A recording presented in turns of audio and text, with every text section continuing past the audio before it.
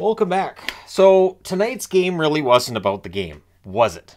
Uh, this is one of those unusual cases. Now, uh, the funny thing is that, you know, there's an Abbotsford game currently going into overtime. I would totally have gone to that game, but I knew I couldn't miss this tonight.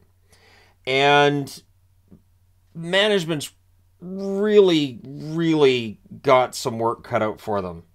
So the game itself, let us go ahead and discuss, uh, and then we can get into other stuff while the game's going through here. Uh, so it's Georgiev versus Delia. Uh, it's Hockey Talks night on the same day as Bruce Boudreau had been moved to tears uh, by questions from reporters. Uh, the the Rick Rypien uh, tribute stuff is fantastic. Definitely, if you're having any kind of struggles, make sure you reach out. People care. If you think they don't, they do. If you think they won't miss you, they will. And that is absolutely 100% the truth. But it it's just it just feels like while they're kicking their coach off the team, just not officially, now they're going to have a little talk about well, you know, for depression all that. I'm I'm sure for Boudreau this is tough. This might be his last job in the NHL. So, um, skate jerseys were being used again tonight, uh, being used properly. Uh, they were used in losses quite frequently when they had the skate jersey before. So, uh, it, it kind of feels to me like Ottawa going back to their original jerseys. They lost a lot wearing those too. So, I know there's the nostalgia, but when I see them, I think, yeah, those lost a lot. So, early save by Georgiev, but then there's a press by the Avs on a turnover by Mikheyev. Both goalies were sharp early. Lazar has a rush chance that's defended. Miller tips in a goal, but it's waved off immediately for high stick. It wasn't close. It was definitely a high stick. Uh, extra points for creativity, though, for Miller on that one. Um, Rodrigues loses the handle in close. Kuzmenko's denied. The Avs cleared out. Uh, O'Connor's denied. The rebound cleared. MacKinnon has a shot kicked aside. Uh, Bear has a shot that's held as the Canucks press. Canucks get a power play. Uh, OEL fires one wide. It's killed off. The Avs then rush afterwards. The shots are 7 to 5 for Vancouver at the half. And then at 11:32, Cogliano opens the scoring from Newhook, and it was on a turnover, wired top corner. So not much chance for Delia on that one. Kuzmenko then has a net drive that's defended. Miller can't bury one in close. Near miss for MacKinnon in close as well. Uh, Rodrigues has a near miss as the Avs press. Notice how many chances were really in close today. Both defenses giving up some chances here. Uh, Newhook has a shot that saved the Avs with some momentum. Boeser has one that saved Canucks would press, but with 110 left, Boeser puts the puck over the glass. Therefore, it's a delay of game, and uh, the Avs get a power play. Then, with 1.6 seconds left, it becomes a 5 on 3.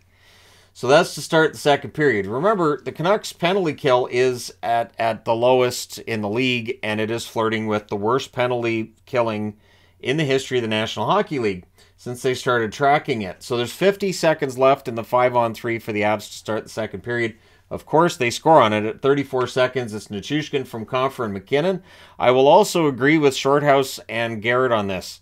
Uh, it is nice to see a 5 on 3 where a team's shooting the puck rather than pass looking for the perfect goal. Uh, that's why 5 on 3s stymie some teams because they don't shoot the puck. They just wait for that perfect shot. MacKinnon fires one high on an open net shortly thereafter, so it was almost 3 0. Canucks finish the kill for the 5 on 4. Uh, pressed by the Canucks at 4 minutes, there's a post for Garland. Then the Canucks get a power play. Garland drew that as well. Aggressive penalty kill, a couple of missed passes by the Canucks.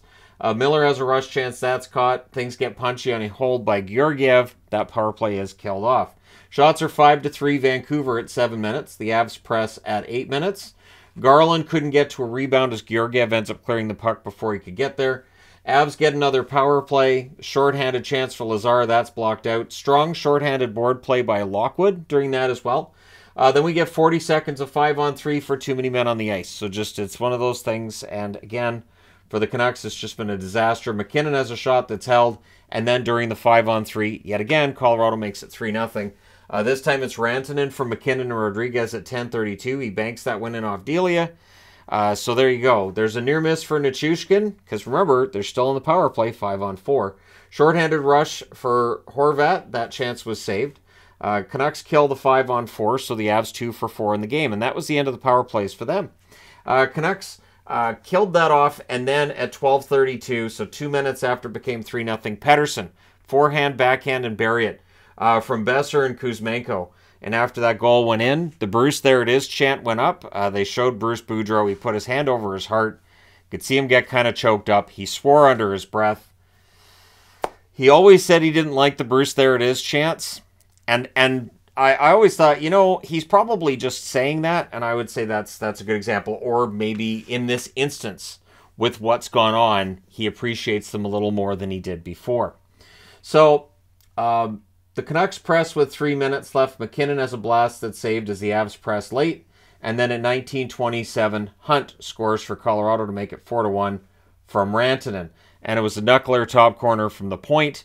Uh, just one of those ones that just kind of cruises into the net. So we're going to the third period with a score of 4 to 1. Lots of early whistles in that third period.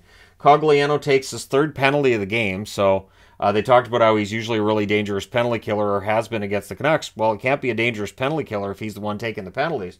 Uh, Kuzmenko has a shot that's saved and close. Dries hits the post. That's killed off.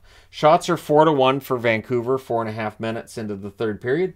Uh, Avs are happy to dump it in, change, and uh, and repeat. And this is kind of what they were doing. They were just doing their best to, to kill the clock. Uh, Garland has a backhand chance. That deflects out. Avs press at eight and a half minutes. O'Connor has a shot that's saved. The Canucks cleared out. Horvat then with a rush chance. That was saved. Pettersson with a wraparound chance saved as well. Georgiev very sound in net tonight. With 8.28 left, the Canucks get a power play. There was a shorthanded two on one that was broken up by Quinn Hughes. Uh, Horvat can't bury one in close. That power play's killed off. Just the one chance during that power play uh, for the the the uh, the Vancouver Canucks. 2:45 left. Bruce, there it is. Chance. Now, why would that be key? Well, the Canucks are down four to one. That's normally a chant that was reserved for when they were ahead, when they just scored. Uh, the fans really showing their support for Bruce Boudreau. He is a very popular coach with this team. Uh, usually, at the time that a coach gets fired from Pat Quinn to AV to whoever, when somebody gets fired and they're out of Vancouver, usually they've hit their expiration date and fans are okay with it. I, I don't feel that with Bruce. I think the fans understand that, yes, this team has a lot of problems. Bruce is not the problem. There's a lot of problems in how this team's made up, right? Um, so uh, there was a post for Joshua, the Canucks would press, and in the final minute, there's another Bruce, there it is chant. Uh, when the game ended, Bruce was gone. He was straight down the hallway. Uh, he will likely be the coach tomorrow night for his last game in Vancouver. And then odds are, from what everybody's saying, that Sunday morning we'll get word that Rick Tocchet's the new coach of the Canucks. Uh, he he will be as popular as Mike Keenan was when he took over. That's my prediction. Uh, when Mike Keenan came into Vancouver, uh, that was that was a, a, a move that uh, wasn't very well received. The difference is the Canucks fixed that. They they got Brian Burke and they fixed it relatively quickly. Um, yeah. So tonight's game four to one for Colorado. Lost in all of this and overshadowed with everything dealing with the Canucks right now is that the Avalanche are now tied with the Calgary Flames for that second wildcard spot, and they've played fewer games. So Calgary has a game tomorrow at home against Tampa, and suddenly they're below the playoff line. So the Canucks dropped to 18, 24, and 3. Tank Watch is on, and I, I read a, a, a Thomas Drance article today on how Canucks, you know, aren't going to tank. They're not going to lose that much. Oh, I have faith this team can lose a lot. I don't care who their opposition is. So Colorado outshoots Vancouver 14 to 10 in the first, 10 to 8 in the second, and Vancouver outshoots them 11 to 6 in the third. Final shots 30 to 29 for Colorado. Power plays, and this is really what sinks Vancouver. 2 for 4 for Colorado.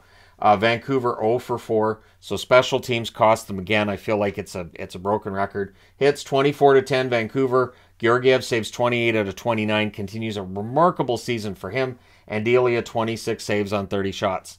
So tomorrow night it's Edmonton. We'll see what happens then.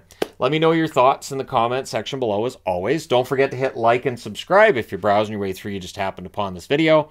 Um, I, I, can't remember the last time that I seen a, a, a, coach of the Canucks almost cry twice in the same day. It's uh, it's quite the accomplishment. It's a low bar.